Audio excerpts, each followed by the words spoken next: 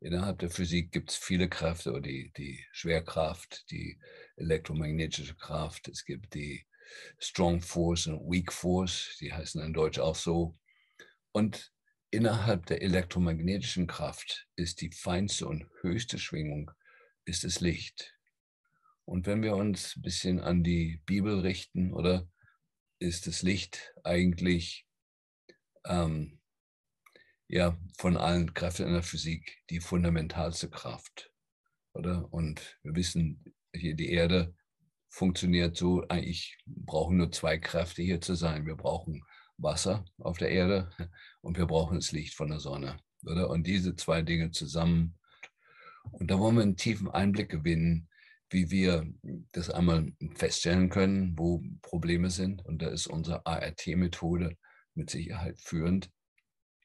Und das Schöne an unserer Methode ist, die uns geholfen hat, den Wert von vielen Dingen zu erkennen aus der Biophysik. Dazu gehört das elektrische Fußbad, die Saunatherapie, unsere, unser K-Scan, die Anwendung von, von Licht und vor allen Dingen vom polarisierten Licht äh, beim Heilen äh, ähm, und, und vieles andere. Möchte ich einfach mal so der Reihe nach äh, mit euch besprechen, auch ein bisschen, was es an Wissenschaft dazu gibt und freue mich darauf, äh, ja, und für uns äh, in unserem Fünf-Ebene-Modell vom Heilen gehört die Biophysik, ist die zweite Ebene. Ja, und die wollen wir mal ganz genau anschauen.